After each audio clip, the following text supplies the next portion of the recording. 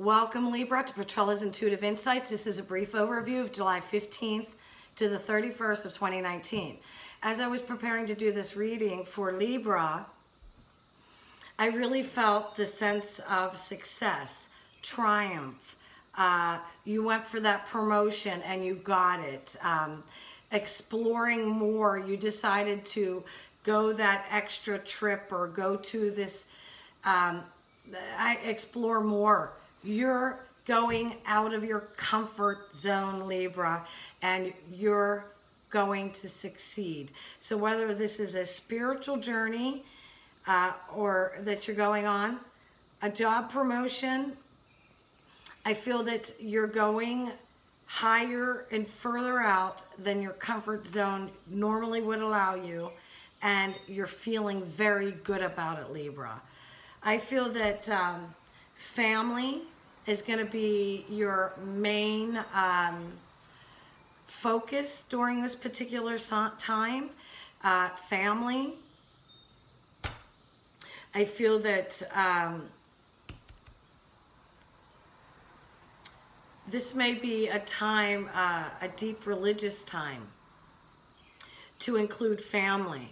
So I feel some of you, this is going to be the celebration of births and maybe the celebration of those that are, uh, you know, crossing over uh, into the, you know, the spirit world. But I see a lot of the family connection and I see it as a good and a positive. I feel that it's, oh, it's good.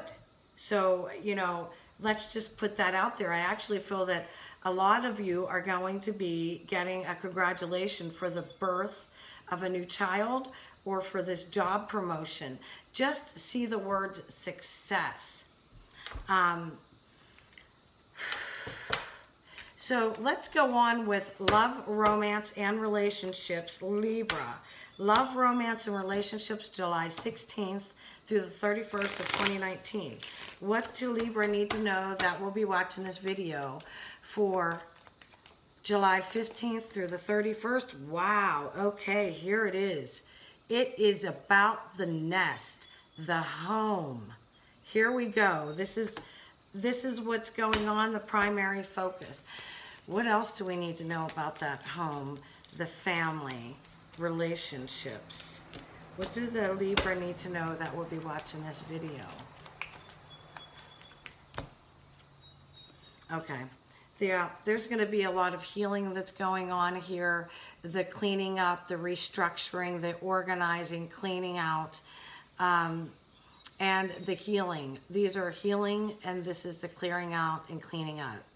So those are going to be a lot of what's going, yeah, here we go. All right, a lot of people are going to be ending an old way of being, doing, uh, an old habit. Um, this could be literally somebody crossing over into the spirit realm. And again, this could be the birth because this is an end of an old way of being.